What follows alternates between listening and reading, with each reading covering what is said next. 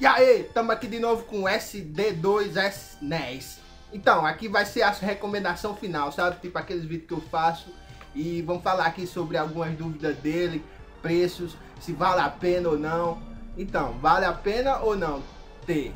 Depende, né? Porque depende do preço e da sua necessidade, se você gosta ou não de jogar. Bem, o SD2 praticamente é o melhor flashcard do mercado, né, que tá por aí.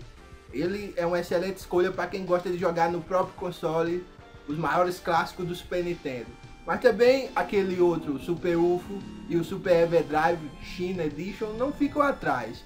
Apesar do preço, ele é uma excelente aquisição porque você vai poder jogar todos os games e alguns até com chips especiais. Mas antes você tem que verificar, porque nem todos os jogos com chips especiais são suportados ainda. Talvez futuramente, quando sempre está atualizando a firmware do cartucho, né, da, da fita desse flashcard, e quem sabe pode sair, mas praticamente está rodando, vamos dizer, 90% dos jogos. 90 e não, mais do que isso, 95, porque os outros 5% é coisa pouca que dá para jogar. Por exemplo, uma, o Super Mario RPG, o Yoshi's Land ainda não são jogáveis. Mas mesmo eu dizendo isso naquele vídeo que eu fiz quando eu fiz a aquisição dele, os caras ainda perguntam nos comentários. Assista o vídeo todo pelo menos para saber. Mesmo tinha, tinha deixado lá na descrição o, a lista de incompatibilidade. Enfim, falando agora do preço, o preço não é muito chamativo não, não é nada doce. Você não vai encontrar por menos, vamos dizer por aqui, um por menos de 800. E mesmo assim, tem a versão China, que é a mesma coisa, faz o mesmo efeito. E esse também. Já vi nego aí pedindo 800 conto na versão China dele que não vale. Você encontra lá no Ali Express por, vamos dizer, 40 reais, já em dólar que seria o que? Uns 150 e pouco dólares, né?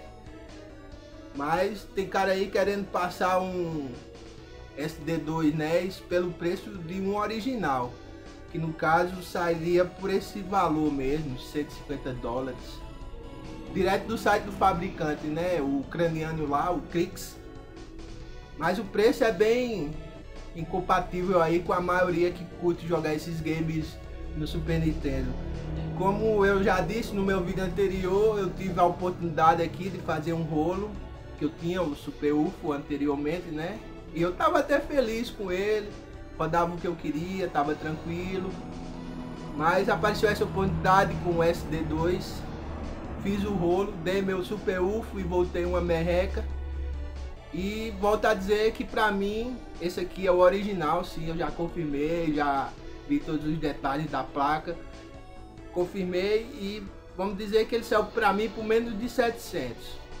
Que para falar vendo assim, o preço não é muito chamativo, mas a, falando do SD2 NES é aceitável, porque eu digo vale a pena e muito. Caso você queira obter um esse tipo de cartucho flash.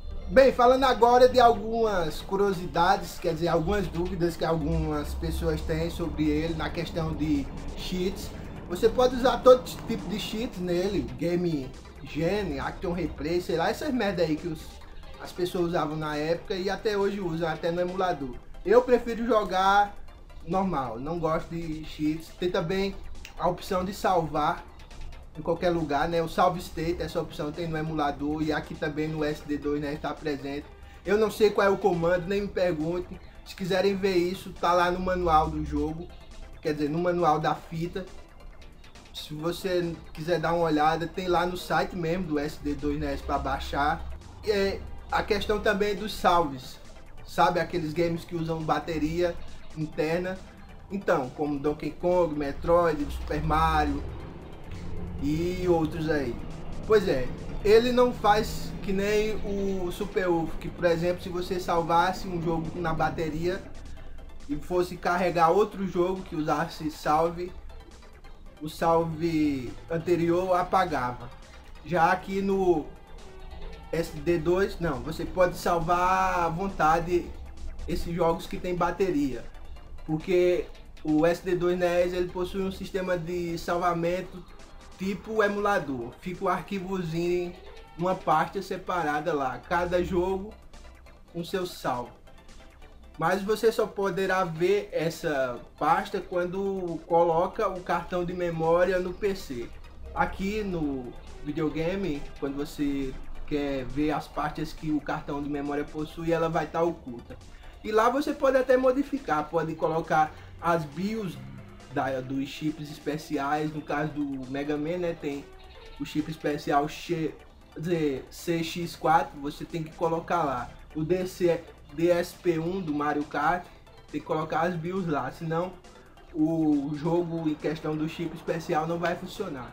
Mas nessa questão de salve, salvar em bateria o jogo, pode ficar tranquilo que não tem problema. Seus salves vão ficar guardados para sempre. Você pode até fazer backup, pegar do cartão de memória, upar qualquer HD virtual e vai ficar lá para sempre.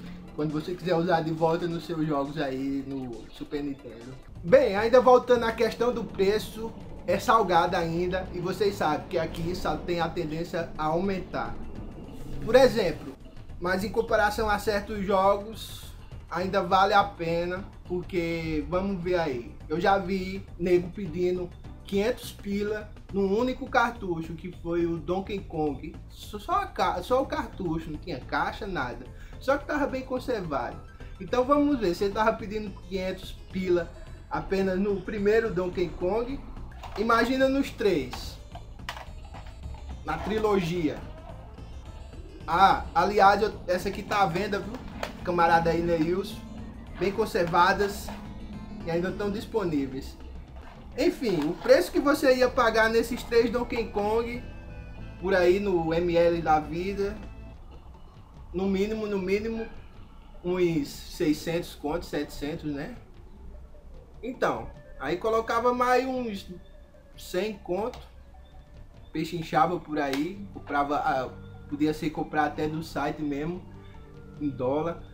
E mesmo sendo taxado, ainda ia sair mais em conta. Porque meu irmão, velho, eu tava vendo aí um dia desse, o cara querendo 9 mil pila no cartucho do Faroeste, Sunset Heights. Isso porque tava lacrado ainda. Mas, pera aí, isso aí não é nem mais faca, é, faca.